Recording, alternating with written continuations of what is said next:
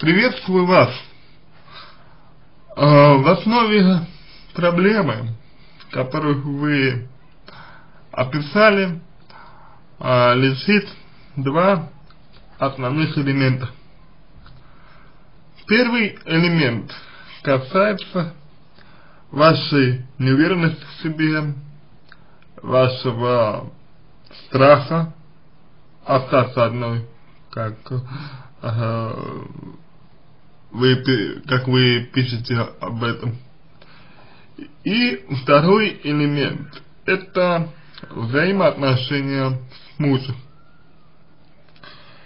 И самое интересное здесь заключается в том, что если вы хотите построить э, нормальные отношения с мужем, я имею в виду э, нормальные, в смысле здоровые, независимые, равноправные, то вам необходимо перестать бояться. Потому что человек, который бои, боится, он никогда не сможет построить э, нормальных отношений с кем бы то ни было вообще. И посему а, в моем ответе будут содержаться некоторые рекомендации по поводу того, что вам нужно будет сделать для борьбы со страхом, со своим, и э, будут содержаться рекомендации по э, работе с вашими установками, негативными установками, которые у вас есть. Но обо всем по порядку. А, э, значит, вы пишете, что своими угрозами а, ваш мужчина а, довел а, вас до решительных действий и вы сказали своему супругу о э, друге, э, но без определенных подробностей. А, здесь меня интересует вот какой вопрос. Вот вы там дальше говорите про то, что а, ваши фотографии и переписках, которые могут быть э, скинуты вашему супругу. Вы будете позиционировать своему, своему мужу как э, монтаж. И, ну, то есть, э, да, специально созданные э, свидетельства для того, чтобы Э, как бы вас оклеветать. Но сами э, подумайте, ваш муж э, живет, причем бывший муж, живет не первый день на свете. Все он понимает, если мы рассказали ему о друге, то какие из, из этого вытекают последствия какие из этого вытекают э, производные. И совершенно нормально, логично, естественно, правильно, что когда муж услышал о друге, он сразу все понял.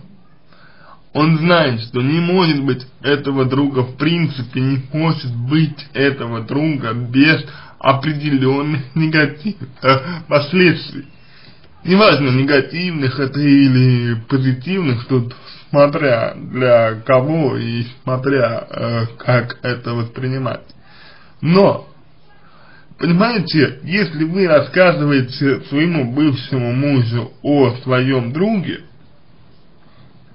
то это уже означает, что у вас есть определенные атрибуты. А эти атрибуты вы пытаетесь скрывать. Вы их не признаете. по сути дела, говорите мужу э, полуправду.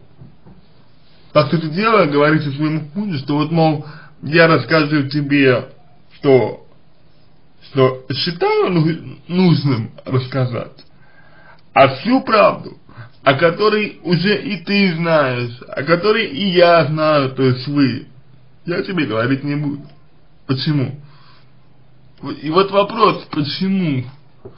В тот момент, когда вы рассказали своему мужу о друге, э, все сразу стало понятно. Вы не сможете своему мужу доказать, что не было никаких последствий. Потому что, ну, все же взрослые люди, и, и все все понимают.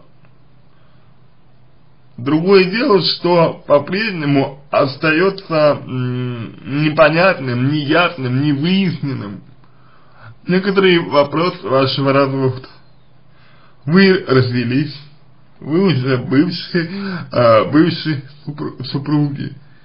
И почему ваш муж так э, называет вас, для меня совершенно непонятно, если вы развелись уже с ним.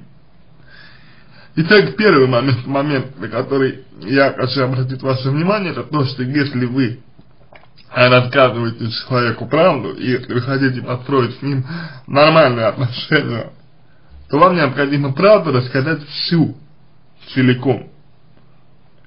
И это моментально выводит вас из а, состояния жертвы по отношению к, к угрозам и по отношению к носителю угрозы. Но вы этого не делаете. И есть вопрос в том, почему. Скажите, что может быть э, хуже, а вот вам сейчас говорит ваш супруг. Э, скажите, пожалуйста, имеет ли право говорить ваш супруг то, что он говорит? Считаете ли вы, что супруг прав, называя вас определенными эпитетами, которые вы э, называете в своем тексте. Вот сами для себя ответьте на этот вопрос, прав ли ваш муж бывший. Имеет ли он право требовать от вас то, чего он требует от вас? Ибо какое может быть предательство, если, простите, вы э, разведены? А, дальше, значит, а, видеть меня не хочет, а, тем, не менее, тем временем а, мой мужчина а, пишет мне письма с угрозами, я не отвечаю, а, значит, какими бы провокационными они, они не были. Ну, смотрите, а, ситуация следующая.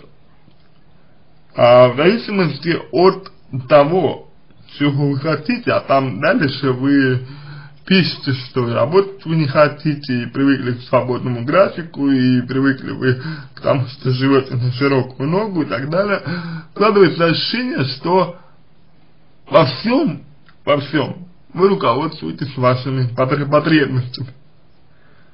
То есть и муж вам для чего-то нужен, да, и мужчина другой вам тоже для чего-то нужен э, все они были для вас нужны. И пока они были вам нужны, пока они делали для вас то, что вы хотите, э, все было хорошо. Но как только, например, э, мужчина начал заявлять о своих правах на вас, и как только вы сами э, поняли, что вот мужчина э, вас не интересует, а интересует бывший муж, э, супруг, вы э, тут же начали все это разрушать, разрушать. Совершенно непонятно, что, э, почему, если у вас э, есть, если у вас были э, чувства э, к мужу, да, почему, почему вы э, тратили свое время на э, значит, другого, э, на, ну, ну, на другого мужчину, да?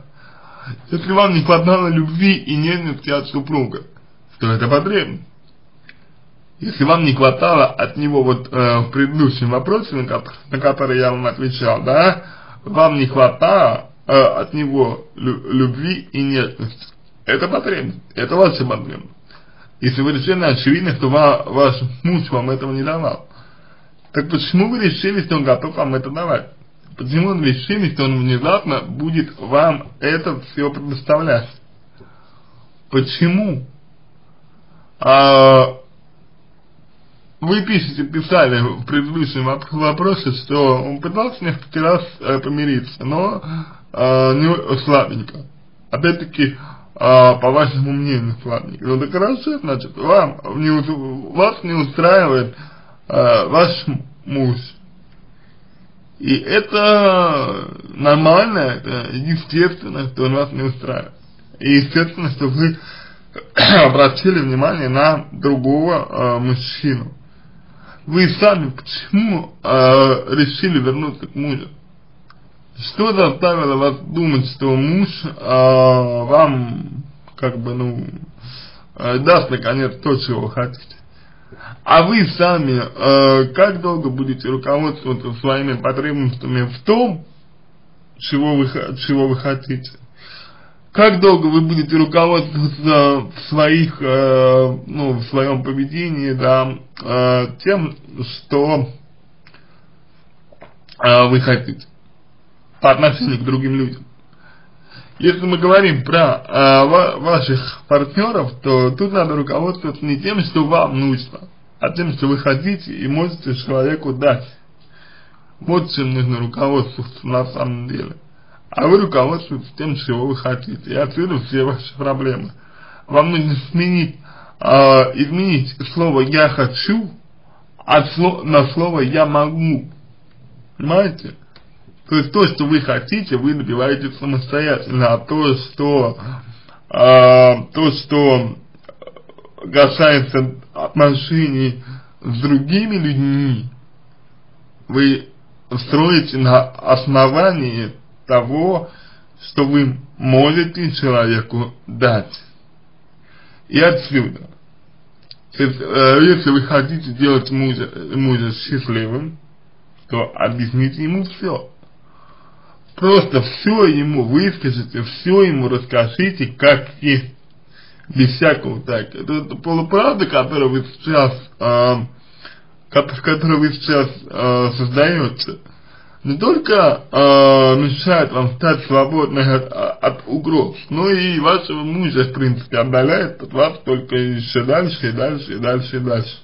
А скажете правду, и пройдет время, и ваш супруг успокоится, и может быть даже простит вас, осознает ошибки какие-то свои и так далее но он уже уверен, что все последствия э, вашей, ну как бы ваших отношений с другим уже есть. И вы его никак в этом не переубедите. Поэтому наста настаивать на э, фотомонтаже, ну как, как минимум, знаете, игнорировать э, реальный мир. Далее. Э, очень надеюсь на понимание бывшего мужа и прощения а, очень надеетесь на понимание бывшего мужа и прощения. То есть, а, то есть что это значит, а, что вы надеетесь а, на понимание а, бывшего мужа? Что это значит? А, надеяться. Надеетесь на понимание в чем? Э, ваших э, поступков, то есть вы надеетесь на то, что ваш муж вас поймет. Поймет вас в чем, что вы его обманывали, поймет вас в чем, что вы э, не хотели ему довериться, вы не рассказывали ему о своих чувствах, не рассказывали ему не говорили ему откровенно, вот у меня э, появляется новый мужчина, смотри, ты можешь меня потерять. А делали все тайком и э, скрывали от него э, свои, как бы, э, отношения. То есть в чем вы хотите, чтобы э, ваш муж э, вас понял? Вот вы э, постарайтесь ответить на этот вопрос. Понимание в чем и прощение за что? Понимаете, чтобы э, человек вас простил, нужно, чтобы он увидел, нужно, чтобы он увидел, что вы раскаиваетесь. А чтобы вы раскаивались, нужно перестать обманывать и сказать своему мужу четко и э, как бы твердо, что прости, дорогой, я ошиблась в том-то, в том-то, в том-то, отныне я буду говорить тебе только правду, вот как есть. И рассказать, рассказать ему все.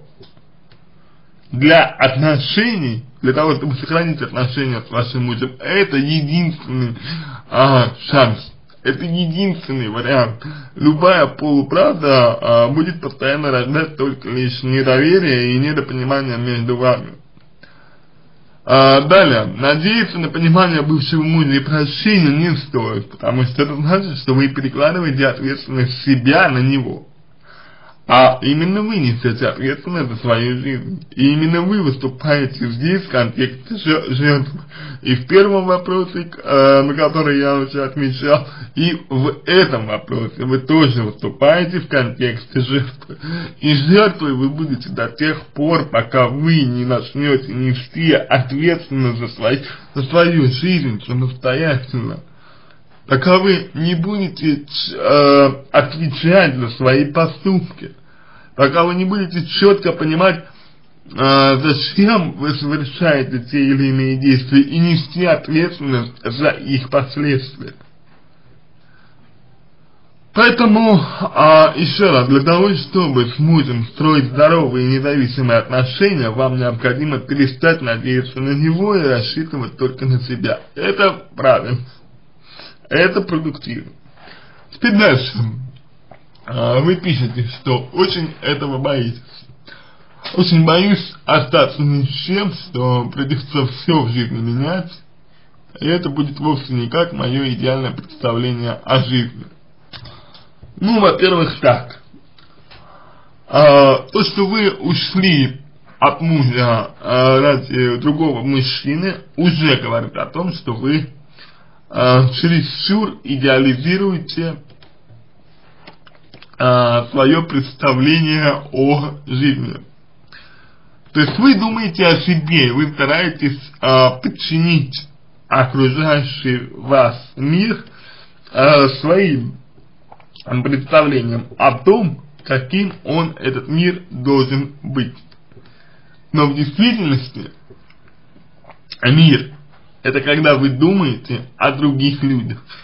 Мир – это когда вы думаете о своем партнере. Мир и реальная жизнь – это когда вы думаете о другом человеке. Когда вы уходили от мужа, вы думали о себе, когда вы уходили от другого мужчины, когда вы пытались с ним разорвать отношения, вы, так, вы также думали о себе. А подумайте о ком-нибудь из своих мужчин, о муже, например, или о другом мужчине. Подумайте, кого из них хочется вам больше сделать э, счастливым. И приложите все усилия для того, чтобы это сделать. А для этого необходимо быть э, честным. Честным в первую очередь перед, перед ним. Нельзя подчинять жизнь реальную своим идеальным представлениям о жизни. Можно стремиться к идеальным представлениям о жизни, но не делать это представление лейтмотивом вашего поведения. Это ведет к тому, в какой ситуации вы сейчас оказались, движимая своими желаниями, своими влечениями и так далее. И, э, необходимо усвоить урок из того, что с, вас, с вами произошло. То есть отказывайтесь от идеального представления о жизни, э, представляйте себе самый худший вариант развития событий вашей ситуации на сегодняшний день и продумывайте пока воображение, чтобы не бояться как вы будете действовать в этой ситуации. Поверьте мне, это поможет вам, это сделает вас независимой, это поможет вам нести ответственность целиком и полностью за себя. Далее, а, думаю, что... А, так, вы пишете, что еще вот что. А, придется все менять в жизни. А, видите ли, любые изменения в жизни это хорошо, любые изменения в жизни это прогресс, любые изменения это эволюция. Вы жили со своим мужем, и вам было некомфортно, иначе бы всей этой ситуации не было. Вы ушли к другому, к другому мужчине и развелись со своим мужем. Вопрос. Но вы же что-то поменяли ради того, чтобы быть счастливее, правильно? Так почему же вы теперь боитесь менять что-то в своей жизни? Ведь это то же самое стремление к счастью. Если вы хотите, чтобы ваша жизнь соответствовала максимально идеальному, вашему, вашему же идеальному представлению о ней, то вам необходимо перестать зависеть от кого-то. Нельзя контролировать свою жизнь, будучи зависимой от кого-либо, а вы сейчас зависимы и зависимы от нескольких мужчин. Поэтому это как бы вступает в определенное противоречие. Чтобы жизнь была идеальной, чтобы она соответствовала вашим представлениям, необходимо, чтобы вы полностью сами ее э, контролировали и несли э, за нее ответственность. Далее, думаю, придется отдать детей на полный день в саду и работать с утра до вечера за мизерную зарплату. Но это скорее, знаете как, это скорее у вас сейчас идет э, такое вот апатичное, депрессивное, негативное восприятие мира. Э, почему обязательно отдать детей на полный день в Почему обязательно работать с утра до вечера и почему обязательно там мизерную зарплату, непонятно. А, многие женщины живут со своими детьми, а, полностью их содержат и а, живут одни, и работают они не с утра и не, и не до вечера, и не за мизерную зарплату. Важно то, как вы себя поставите, важно то, в какой области вы будете работать, важно то, как, какой вид деятельности вы будете осуществлять. Это нужно понимать. Поэтому я рекомендую вам сейчас э, оценить ваши профессиональные навыки, подумать о том, где бы вы могли себя реализовать, как бы вы могли себя реализовать, и обязательно в этом направлении двигаться. Не хочу потом э, оказаться э, в, нищенском, в нищенском состоянии с детьми, пишите вы, муж при этом будет жить по-королевски еще с, с новой молодой женой. А, видите как, вы сами своего мужа бросили. Видите как, вы сами от него ушли, потому что вас не устраивал. Соответственно, э, какая вам теперь разница, с кем будет жить муж, как он будет жить и так далее. Кроме того, еще Иисус, который э, как-то разделяет э, ваше имущество совместно наше-то, кстати говоря. Так все еще не так, что вы останетесь ни с чем, и почему вы решили, что муж будет жить по-королевски с новой молодой женой если вы э, писались, то он и в мыслях не может допустить, что у него кто-то кроме вас будет. Здесь опять-таки и с вами злую шутку играет страх, а также зависть и неумение, нежелание нести ответственность за себя. Вот это ваша самая главная проблема. Вы не несете ответственность за себя и за своих детей полностью. Вы время стараетесь переложить ее то на мужа, то на другого мужчину. А это очень плохо. Особенно если вам за 30, как вы пишете.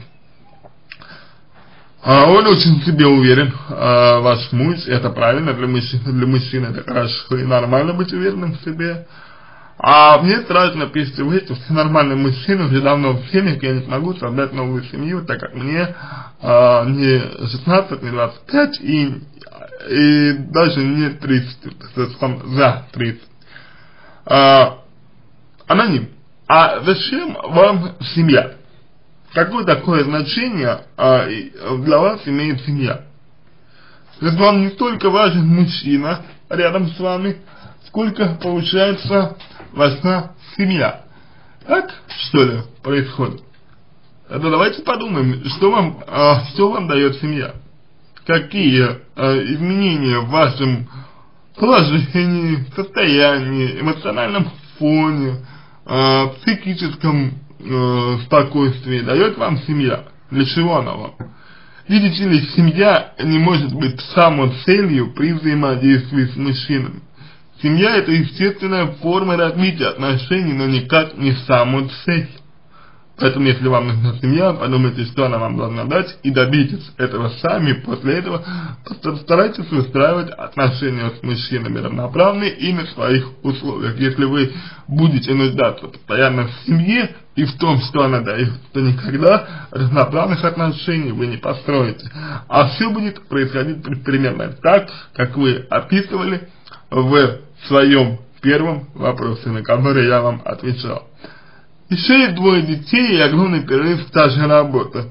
А ничего страшного, я думаю, что практику всегда можно пройти, можно даже сменить работу, можно работать дома э, через интернет, если, если есть желание, тем более, что вы э, пишете, что далеко живете от большинства рабочих мест, это говорит о том, что интернет вполне возможно для вас э, отличный выход, и там э, по интернету можно очень даже хорошо а, работать, и можно работать в свободном графике, то есть там, грубо говоря, э, я например, встречал э, такие вакансии, где люди работали, например, операторами э, колл-центра через специальное программное обеспечение, э, скажем, 4 часа утром и 4 часа, например, вечер, вечером. И получается, что у вас э, будет время и на детей, и так далее. Ну там график договор, договорной, то есть тот самый вот свободный график, к которому вы привыкли. Далее, а, нет, а, опять, когда вы пишете, что о возможности воспитания детей э, можно забыть напрочь, это опять-таки ваша негативная сейчас э, реакция идет на то, что у вас э, не получилось выйти сухой из этой ситуации.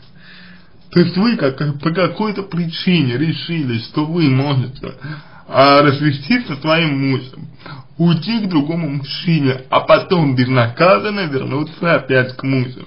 Но так не бывает. Вы совершили а, определенные поступки, и вам за эти поступки нужно нести ответственность, а также извлечь из этих поступков урок. И вот до тех пор, пока вы свою ответственность полностью не осознаете, пока вы не осознаете, что кроме вас в отношениях есть еще другой человек, пока вы не осознаете, что а, вам нужно нести ответственность за себя, за себя, и пока вы не осознаете, что у любых действий есть последствия, и у ваших действий последствия есть тоже, а, пока вы не поймете этих моментов, вам будет сложно. Поэтому о возможности воспитания детей напрочь забывать не придется. Главное все грамотно устроить и эффектом, результатом этой грамотной э, позиции будет то, что вы перестанете зависеть от кого-либо, и никто не, не, не сможет навязывать вам свои условия. Далее вы пишете, а работать я не хочу. То есть, правильно ли я вас э, понимаю, что вы э, привыкли, что мужчина вас содержит. Всегда к какому свободному графику вы привыкли, не очень понятно. А что касается э, того, что вы привыкли жить на широкую ногу, то, э, опять же, это требует более э, детальной проработки. То есть, что именно вы вкладываете в понятие жить на широкую ногу. Какие э, минимумы средств вам нужны для этой комфортной жизни. Попробуйте разбить эти средства на части и подумать, какая, э, какая часть этих средств вам необходима, а без какой можно обойтись. И вот вы уже получаете э, несколько уменьшенную сумму, которую, я думаю, вполне сами можете заработать. А сейчас меня этого лишили. Чего лишили? Очень хорошая фраза.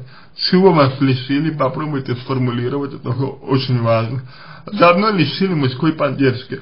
А мужская поддержка это хорошо, но без нее тоже нужно жить. Нельзя зависеть целиком и полностью от мужской поддержки, она не, это вам вредит. Поэтому подумайте, что давала вам мужская поддержка, постарайтесь сами ее, э, постарайтесь сами реализовать то, что она вам давала. Без этого у вас не получится, опять же говорю, обрести независимость, нести ответственность за себя полностью. Я в растерянности, мне больно и плохо. От чего вам, от чего вам, от чего вам больно?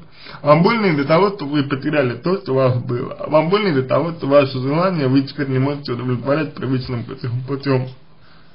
Но нужно искать другие пути. Понимаете, вы сейчас пытаетесь идти по э, пути наименьших сопротивления. То есть вы пытаетесь вернуться к музе. Вам кажется, что вы вернетесь к музе, все у вас будет хорошо. При этом вы забываете о том, что э, муж-то, может быть, совсем не изменился, что он, может быть, остался тем же. Вспомните, почему вы от него ушли. Вспомните, почему и куда вы от него ушли. И вот из этого момента нужно делать, э, нужно извлечь урок, что вы совершили ошибку, когда уходили э, от своего мужа. Не, э, скажем так, э, просто уходили, а уходили, уходили кому-то. Вот это самая главная ошибка. Не закончив одни отношения, вы начали друг и другие вы пошли по пути наименьшего сопротивления тогда, и вы идете сейчас по пути наименьшего сопротивления опять. И поэтому вам больно и плохо, потому что вы зависите от других людей. Чтобы не было больно и чтобы не было плохо, необходимо самостоятельно удовлетворять все свои запросы и потребности. И если вы этого не умеете, необходимо этому учиться. Только так вы можете изменить свою ситуацию в лучшую сторону. Далее. А, я совсем не знаю, что будет дальше и чего ждать. Все зависит от вас, что будете делать, как, как себя, себя будете ставить, а, как будете выстраивать свою деятельность, как будете позиционировать себя, на что будете рассчитывать, на себя или на других, а, вот то и будет дальше. Главное, что лучше а, и быть не может, а, вот тут не очень понятно, совсем не знаю, что будет дальше, чего ждать, а главное, что лучше может и не быть. Так как, а, муж, а, лучше может и не быть, то есть вы не надеетесь на улучшение ситуации со стороны своего супруга. Это правильно, так как муж, бывший, а, прекрасный семенин, таких мало. А с ним связь, считай, утеряна. Но так вы же от него уходили, потому, потому что это его э, качество, как э, прекрасный семьянин, вас не устраивало. Почему же вы сейчас для себя решили, что это качество внезапно вам опять нужно? Вы вспомните, почему вы уходили от своего мужа. Вы вспомните, э, что заставило вас от него уйти. Вы вспомните это почему вы, а, вот знаете как, а, мне кажется, для вас а, хорошая иллюстрация того, что с вами происходит, это поговорка. А, имеем, не ценим, потеряем, потеряем, потеряем, плачем. Это вот, мне кажется, про вас. Когда у вас был муж, вы его не ценили, вы стремились к чему-то другому. Когда вы потеряли это, вы тут же начали ценить то, что потеряли. А, вы Подумайте, что вам нужно. Один раз, что вам нужно для себя. Сами этого добейтесь. А потом выстраивайте отношения с людьми, будучи равноправны и независимы. Чтобы не было такого, как у вас сейчас есть. Чтобы вы могли совершенно спокойно совершать какие-то свои действия, поступки, действовать в своих интересах, при этом не оглядываясь на кого бы то ни было. Это будет правильно. Как вести себя э, с мужчиной, э, вы не понимаете. И э, обращать внимание на его угрозы и сообщения, звонки в квартиру. Значит, вести себя с мужчиной нужно спокойно, холодно, э, презрительно, равнодушно, э, безразлично. Потому что то, что делает мужчина, это, ну, в какие ворота не лезет, и говорит о том, что он опять-таки видел, видит, видел и видит вас жертву, кое вы пока являетесь, кстати говоря. И то, что он делает, это, по сути дела, террор. То есть устрашение. Ну, вы можете обратиться в милицию, только разве что, если он э, вам докучает, если он вас терроризирует, вы можете просто обратиться в милицию сказать, вот человек как бы откровенно меня просто надоедает, мешает и вообще постоянно меня там устрашает и угрожает. И милиция вам э, либо поможет, либо направит, э, соответственно, э, заявлением в суд. То есть вполне вероятно, что у мужчины э, это остановит.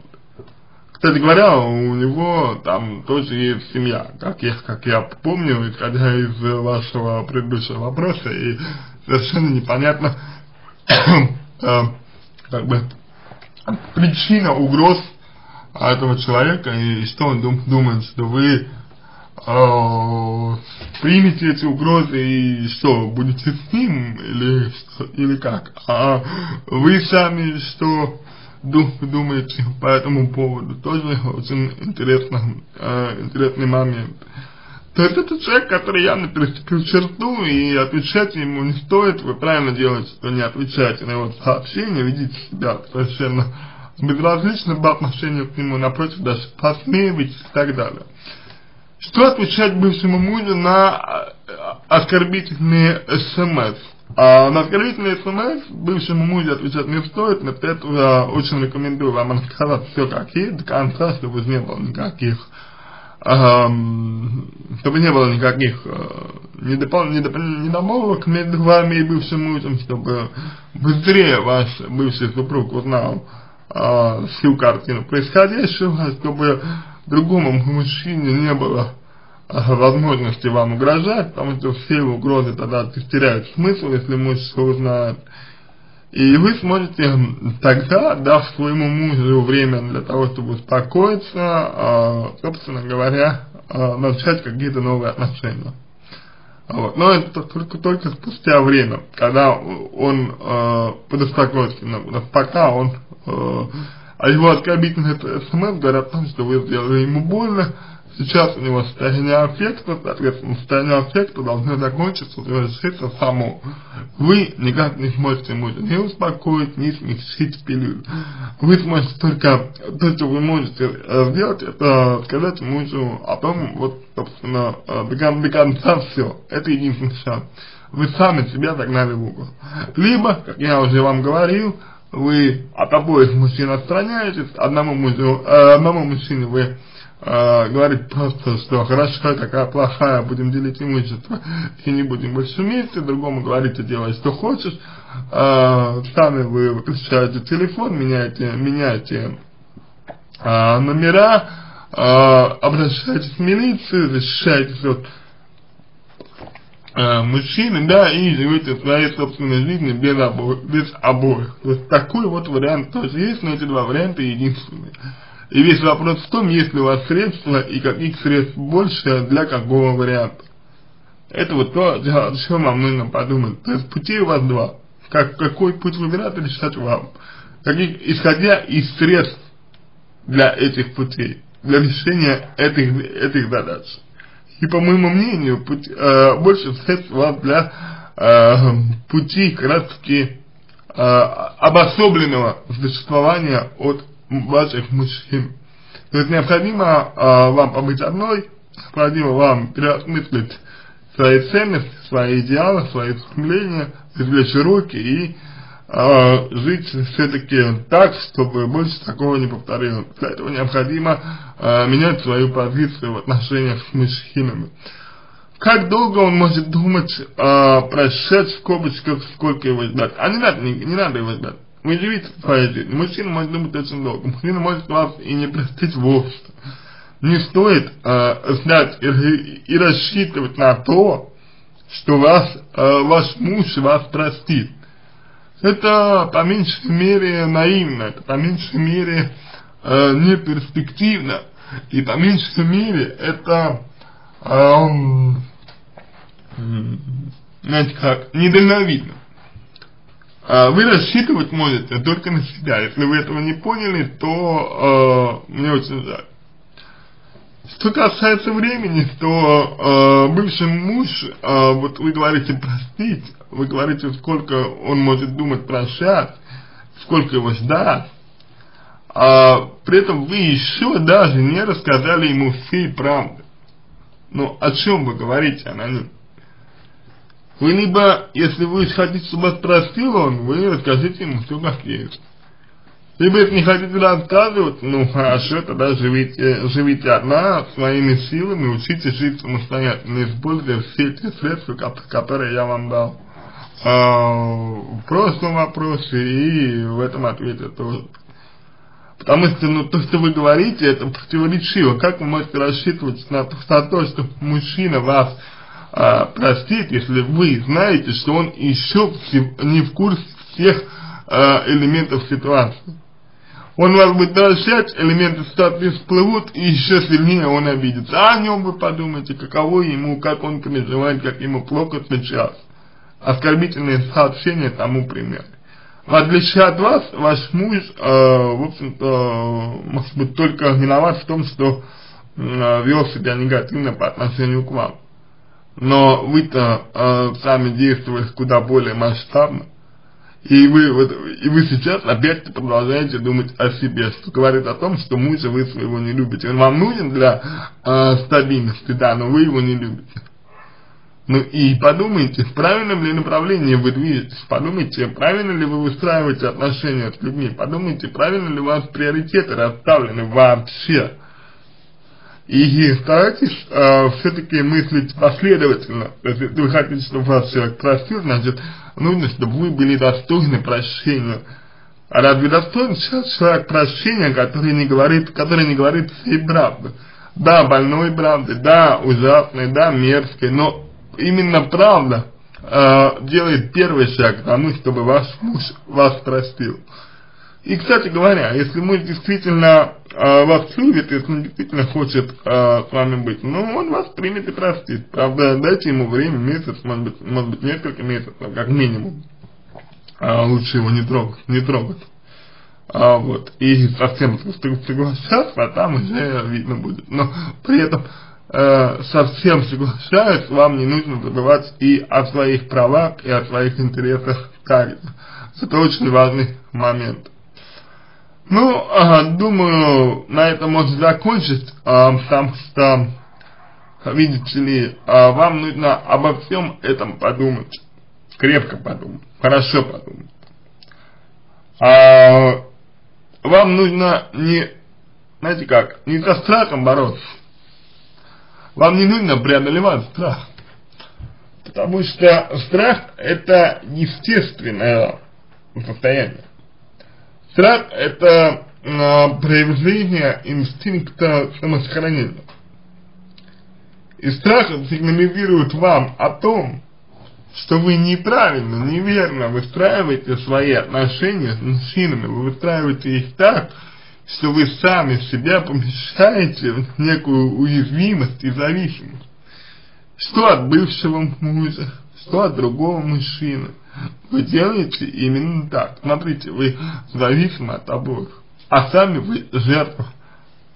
И вот нужно перестать быть жертвой, нужно взять на себя ответственность за все, что вы делаете. И, и стараться зависеть только от самой себя. И, тогда никто и никогда не поставит вас в такую ситуацию, в какой вы оказались э, на данный момент. И до тех пор, пока вы рассчитываете на кого-то из мужчин, на мужа, на другого мужчину, да, эта ситуация будет длиться. Вы рассчитываете на себя.